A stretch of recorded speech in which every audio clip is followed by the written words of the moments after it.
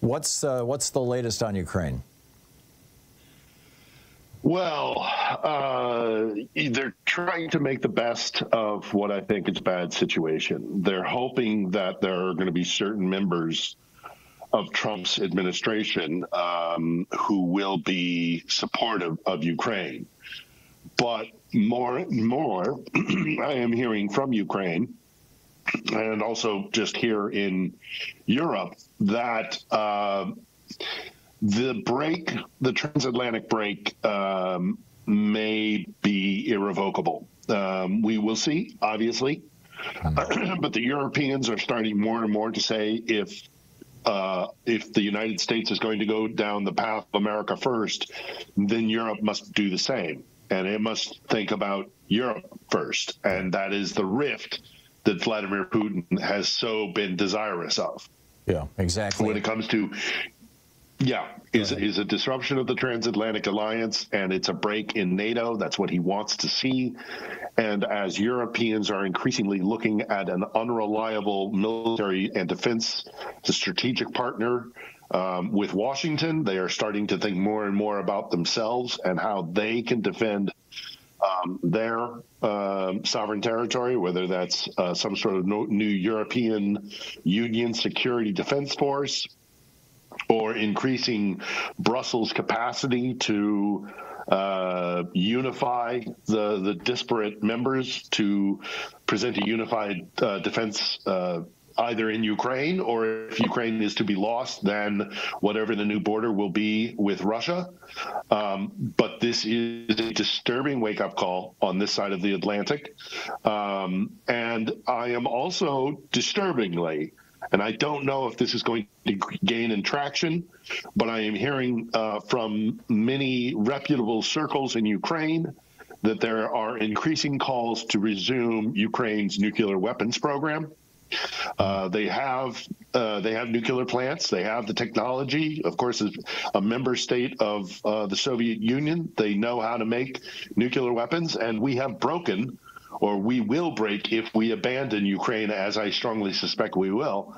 We will have broken the 1994 um, uh, Budapest Accords, and well, so there is no. Uh, uh, Putin already broke that. I mean, Russia was yes. a signatory to that. No, yeah, no, I mean, this is, the it, yeah, it, it, has long been broken, and we have not held up our part of the bargain. Our part of the bargain was we would defend Ukraine's sovereign borders, 1991 borders, post Soviet Union, if they gave up their nukes. And they agreed. They gave up their nukes. Right, which includes Ukraine, which includes Crimea, by the way.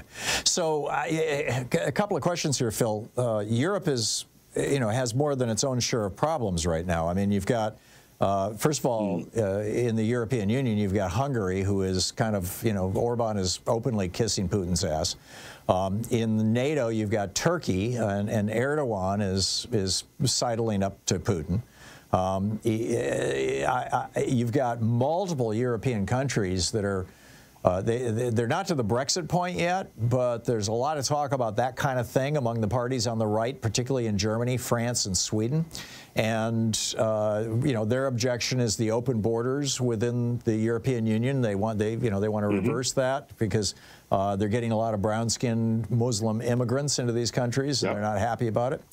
Um, how does Europe pull this off if they're going to try to turn into the United States of America? Well, I don't think they're going to necessarily try and turn into the United States of America. maybe maybe a confederacy, a European confederacy, right? Where the us. individual it didn't work for us, and I don't know as it would work for the EU. But a lot of uh, a lot of what has been foundational in Europe is now um, up in the air. Uh, changes will be happening. We will have to see what the Trump administration does and how Europe will respond. You are absolutely right. Europe has a lot of internal problems, not least of which these migration issues that you're discussing. Not just that uh, the the quote unquote open borders, but there's also there's legislation that certain member states are required to take in refugees as they arrive in Europe, and there's been a, a strong pushback on that by member states. Yeah.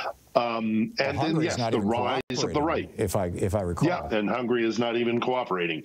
Uh, you know, uh, the rise of the right uh, in Europe is uh, obviously uh, found uh, fertile ground, but it is also repeatedly we are seeing, and we I did an episode about this on the Edge with a a, a European expert, uh, Jessica Brin, and we discussed the fact that um, we know that Moscow is behind a lot of this because it is their they know Russia cannot beat the West militarily. It's not possible, neither uh, financially, in terms of people, in terms of weaponry and uh, uh, strength in our military. What they can do is they can push money into the hands of those who uh, will fracture our society, drive uh, wedges between allies and friends, and this is exactly what we are seeing happening. Um, Putin is, while Putin has a a whole hill of issues that he needs to deal with. Um, I am sure that he is looking at this, the way things are progressing right now, post-election in the United States, and also looking at the rise of the right and the and the the, the elements within Europe that are like-minded uh, with both Putin and Trump. Um, he is he is hoping that he can outlast us, and the way things are going right now, he may very well. And Ukraine is terrified about this, and Ukrainians are terrified about this. But the tragic truth of it is that they have no choice. They will continue to resist Russian invasion because it is an existential threat for them, just as uh, losing their primary colony in Ukraine is an existential threat for Moscow. So, um, with the election of, of Donald Trump, who is clearly, and I'm sorry, Thom, I'm have to be categorical about this. He is compromised by Vladimir Putin. I am in this business for 30 years, covering defense matters, strategic matters, intelligence matters. I have yet to meet with a contact of mine within those entities that will dispute whether or not Trump is compromised oh, so by obvious. Putin. The only question is how much. Right, and and and under what circumstances? Um, I you know, and in the, what circumstances? The, the, what know, conditions? If, if, What's he got? Yeah, if if Putin has blackmail on Trump. Um, you know, if it's something that's merely embarrassing, like the, the notorious PP tapes, uh, you know, it's possible that tr Trump will point, push back on that because he doesn't care anymore. He's not going to run for reelection. Um, his wife is already pissed at him and not going to move to D.C. with him. Uh, you know, their marriage is broken. Um, he just doesn't he doesn't care. I mean, he was humiliated by Stormy Daniels uh, talking about his little mushroom penis. Um, he, I, he's had all these things. Uh, I, you know, I, can't, I just can't imagine what Putin would drop that would humiliate him. If Putin has, uh, unless it's him, you know, with a 14-year-old girl or something, but even that, I think he would survive now at this point. And and if it's well, financial, sadly, if it's, maybe if it's Putin dangling, here's a yeah. billion dollars to build a, a, hotel in Moscow. I don't think uh, Trump needs that anymore either. He's got a five billion dollar project going in Doha right now. He's got, uh, you know, his son-in-law got two billion dollars from the Saudis. So I'm thinking when Putin, you know, the day after Trump was elected, Putin released all these nudie pictures of Melania.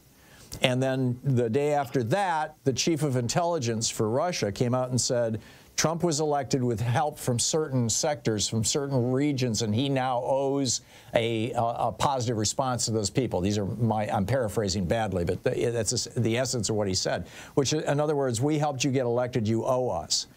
And I'm wondering if, the, you know, Biden spent two hours with Trump yesterday, and they say they say that, uh, uh, or, yeah, yesterday, and they say that a lot of it was devoted to discussing Ukraine. I'm wondering if Biden said, "Hey, hey, Trump, uh, Putin's making you his sucker here. He's playing you." And look at this. He's he's slapping you around. You know, he's uh, with uh, the pictures of Melania. don't you think it's time to stand up to this guy?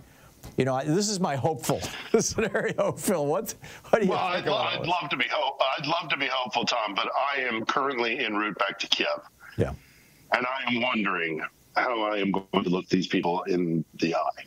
Yeah, um, as an American. Our, hist- our history with Ukraine in the West, we have repeatedly betrayed and abandoned Ukraine. This is the third Ukrainian war of independence, and the prior two were primarily lost because the international community did not have the will to support a sovereign, independent Ukraine. Yeah. And to have it happen a third time, um, I don't, I don't see Ukraine recovering from it. And I, I think the Ukrainians um, were willing to give President Biden uh, some leeway, knowing that uh, you know maybe he didn't want to push the issue because uh, of the fear of a, a Trump, well, a Trump administration, a second Trump administration. Well, that second Trump administration is here regardless of the fact that um, Jake Sullivan and, and, and, President Biden have played very cautious right. with the Ukrainian war effort. Um, it's they're going to have to look at different metrics. Yeah, no, I get um. If Phil, they cannot I, rely on America. I, I, only have about 50 seconds here before we hit sure. a hard break. Um, what is the current state of the war? I, I understand that Putin is massing like 50,000 troops, and he's got these yep. North Koreans. Yep. And I mean, is is this yep. going to be a really dark He has time? launched. It's going to be. It's going to get very dark in Ukraine. Um, uh, this election, uh, Americans have voted for a situation where I am very sad to say, but I am um, I'm confident in saying it that a lot more Ukrainians are going to die as a result of this vote. Um, 50,000 troops in the Kursk region, which is that section where Ukrainians uh, made an incursion into the Russian Federation to bring the war to Russian territory. Um, the initial probes and attacks apparently have been repulsed. Um, the, the, North Korean uh, soldiers are not proving themselves to be uh, reliable allies, more, more like uh, uh cannon fodder. Hmm. Um, but make no doubt about it, unless something unexpected comes out of the Trump administration with this war, uh, we are going to look at Ukraine losing more and more territory, um, unable to defend itself. More uh, Ukrainians will die, but the Ukrainian will to survive and fight will never diminish because it is existential. The Russians are trying to destroy them as a people, a nation, and an identity, and they won't accept that anymore. So we need to prepare ourselves this for a lot more death in Ukraine. Program. Yeah, I get it. Phil Ittner. Uh, Phil, thank you. Check out his uh, On the Edge podcast. Phil, thanks so much. I look forward to talking to you next week when you're back in Kiev. All right. See you then. Thank you.